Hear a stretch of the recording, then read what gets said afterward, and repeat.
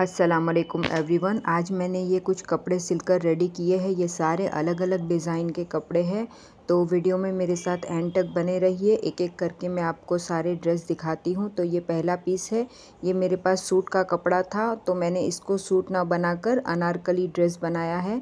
तो ये देखें, यहाँ पर मैंने दोनों कपड़ों को मिक्स करके इस तरीके से अनारकली सूट बनाया है। एक कली मैंने बॉटम के कपड़े की ली है और एक कली मैंने टॉप के कपड़े की ली है। तो यहाँ पर टोटल सोलह कली है और इसको मैंने इस तरीके से एक कली प्लेन और एक प्रिंटेड करके इसको रेडी किया है। यहाँ पर बॉडी का पार्ट मैंने बॉटम के कपड़े का लिया है और स्लीव्स मैंने प्रिंटेड कपड़े की ली है। और इसके साथ मैंने अलग से चोली बनाई है, जो कि प्रिंटेड कपड़े की ली है। और यहाँ पर इसको हाई नेक कॉलर देकर इस तरीके से गला रेडी किया है और यहाँ पर लेस लगा दी है।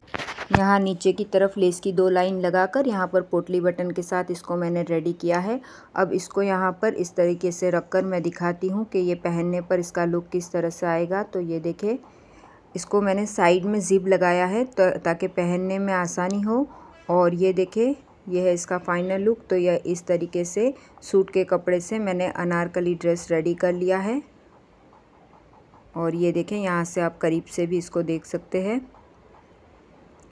ये कस्टमर का सूट है, पहनने पर इसका लुक किस तरीके से आएगा, अगर इसकी फ़ोटो मेरे पास आती है तो मैं अपने इंस्टाग्राम पर उसको अपलोड करूँगी तो आप इंस्टाग्राम पे भी मुझे फ़ॉलो कर ले।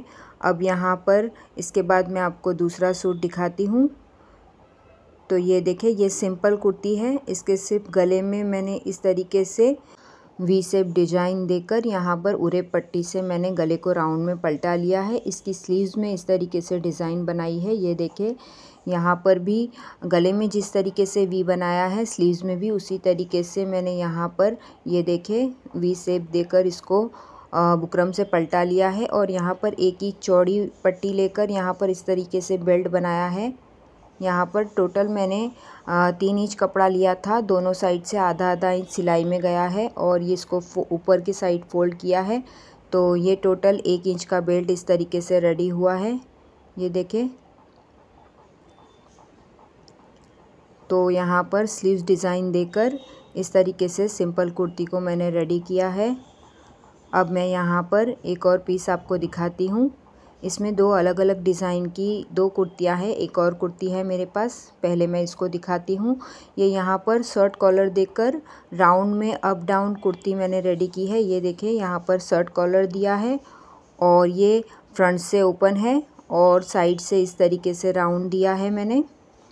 और यहाँ पर इसकी स्लीव्स को देखें यहाँ पर एक ही चौड़ी पट्टी लगाकर यहाँ पर चुन्नटे देकर मैंने स्लीव्स रेडी की है और ये बटन है, जो मैंने स्लीव्स में भी यहाँ पर लगाया है, जो मैंने फ्रंट साइड बटन लगाए हैं, वही बटन मैंने यहाँ पर स्लीव्स पे भी लगाया है और ये इस तरीके से रेडी की है। अब मैं आपको इसका पूरा लुक दिखाती हूँ। ये देखिए। ये रेडीमेड बटन है, जो मैंने इस कुर्ती पे लगाए हैं। आप चाहे तो फैब्रिक बटन भी यहाँ पर लगा सकते हैं। ये देखिए, अब मैं आपको एक और कुर्ती दिखाती हूँ। तो ये देखें ये इस तरीके से यहाँ पर ये बॉडी वाली कुर्ती मैंने रेडी की है, इसको चुन्नटे देकर, लेकिन यहाँ पर बॉडी की लेंथ मैंने कम रखी है। नॉर्मली बॉडी की लेंथ चौदह इंच होती है तो इसको मैंने यहाँ से बारह इंच ही रखा है और फिर मैंने इसको घेरा इसके साथ जॉइंट कर दिया है। और इसके गले को मैंने ऊपर की तरफ़ यहाँ पर पलटा कर ये पट्टी को थोड़ा लंबा रखा था और फिर यहाँ पर प्लेट्स देकर इस तरीके से डिज़ाइन दे दी। और ये इसकी स्लीव्स है। स्लीव्स को मैंने यहाँ पर उसी तरीके से रेडी किया है। ये देखें, यहाँ पर एक पट्टी लगाकर फिर आगे की साइड चुन्नटे दे दी है। जो कि मैंने रेड वाली कुर्ती में बनाई थी, उसी तरीके की स्लीव्स यहाँ पर भी बनाई है। लेकिन इसमें बटन अटैच नहीं किया है। तो ये देखें, ये है इसका फाइनल लुक इस तरीके से ये कुर्ती को मैंने रेडी किया है। और इसके साथ मैंने पैंट भी रेडी किया है, जिसमें थोड़ी सी हल्की फुल्की मैंने डिज़ाइन की है। तो मैं आपको इसका पैंट भी दिखाती हूँ। तो अब ये देखें यह है इसका पैंट और इसमें मैंने एंकर थ्रेड से यहाँ पर इस तरीके की लाइनिंग दी है। तो ये देखें यहाँ पर मैंने पहले कुर्ती के कपड़े की पाइपिंग दी है और फिर यहाँ पर एंकर थ्रेड से इस तरीके से आ, सिलाई लगा ली है। तो यहाँ पर इस तरीके से मैंने सिंपल डिज़ाइन देकर पैंट को रेडी किया है। अब यहाँ पर पहले मैंने आपको एक और रेड कुर्ती दिखाई थी उसी कपड़े की ये लॉन्ग कुर्ती है। तो ये देखिए यहाँ पर इसको वी कॉलर के साथ मैंने रेडी किया है और इसकी किनारी पर लेस भी लगाई है और नीचे से इसके दामन को मैंने इस तरीके से राउंड में कट किया है। ये देखें। और ये इसकी स्लीव्स है। स्लीव्स में मैंने यहाँ पर इलास्टिक लगाई है और इस तरीके से इस, ये लॉन्ग कुर्ती मैंने रेडी की है। तो ये देखिए, अब मैं आपको करीब से दिखाती हूँ।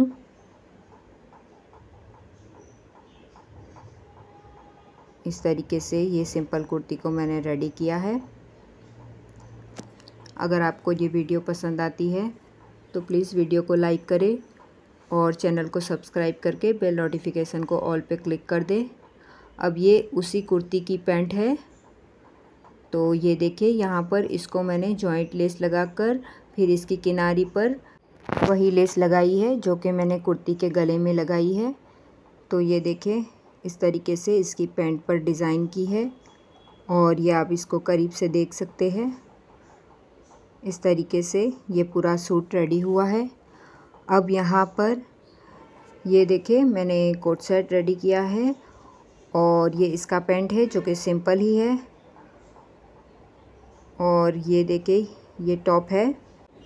इसको मैंने शर्ट कॉलर के साथ रेडी किया है।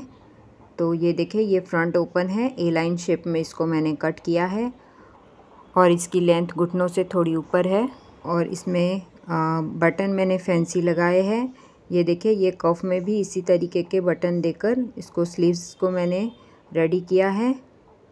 और मैं आपको करीब से दिखाती हूँ। ये देखिए इसके फ्लावर में मैचिंग बटन यहाँ पर मैंने लिए थे और उसी को यहाँ पर मैंने अटैच किया है।